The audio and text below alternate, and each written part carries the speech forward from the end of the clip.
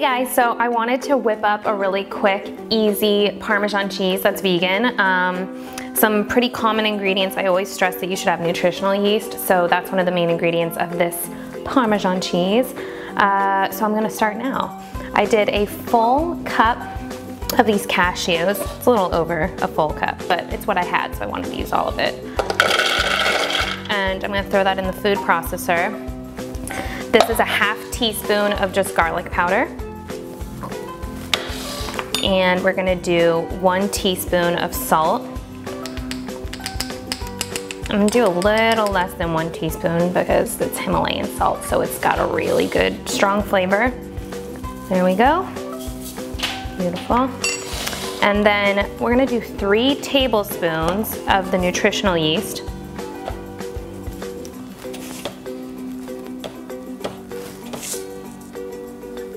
Beautiful.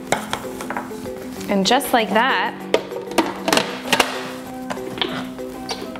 you blend this puppy up. If I can figure out how to put my food process. Oh no, this is always the trick. You do this. Wait, wait, wait for it. Okay, it's on. So the lid has to be off and then you lock it. You guys, stop messing with me. There we go, okay.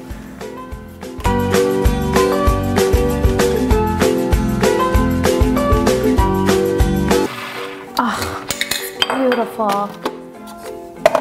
I'm use my little teaspoon to taste it. Yeah, it's perfect. It's the weirdest thing. It's only these ingredients and it tastes just like Parmesan cheese. So you can probably just store this. I put it in a mason jar.